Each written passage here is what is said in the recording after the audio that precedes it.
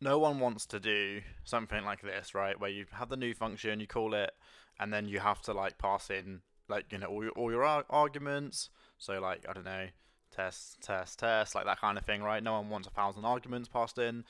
And then the other thing you can do is you can do the pass in like a config structure, but that then means again you're overriding some default values, right? So this is where options pattern comes in. So what actually is that? So I'll give you a quick show of what this code actually does. Uh, where is it? Here. So you can see here, I optionally want to provide a port and I optionally want to change it to be a secure server or an insecure server. You can do so many more different options than this, right? There might be a domain, optional domain with a default domain, lots of stuff, right? Anything and everything, right? It's just optional fields, whatever your application needs, right?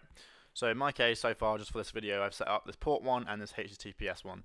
So simply, all I do is call the with port function with my port, right? And that is a type called, a function definition called opt func, right? So if I jump to that, um, if I jump to that, I have a file here called ops.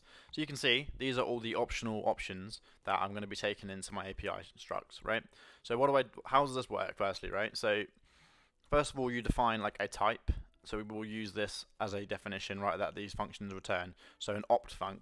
So this is literally how your kind of options would look. Oh, let, me go, let me go back there.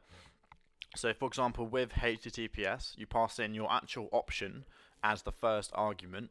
You return an opt func, which as we know from up here, is a pointer to the actual structure that we want to update the optional field on, right?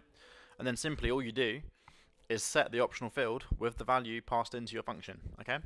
So likewise, same thing down here with the port. And how does this work with the actual API new package or the new function? Uh, just like this, right? So we can take in a you know a spread of opt func. So all this is going to be is you can pass in as many optional functions as you like, and they're just going to be um, passed in as an argument towards at the end of this function, right? So that means because of this nice syntactic sugar here, this is like a list of opt funcs, right? Um, so what you can do is you can actually iterate through them and all you need to do is call the opt func, right? Or my, I've named it opt here, but this would actually be the opt func, right? Um, and that way, you've got all your defaults defined here. So I've got my port, I've got if it's secure or insecure, I've got the domain, etc. Like for example, this domain one, I would actually change to an opt func, have a default domain in it, and then I can optionally pass in a domain, right?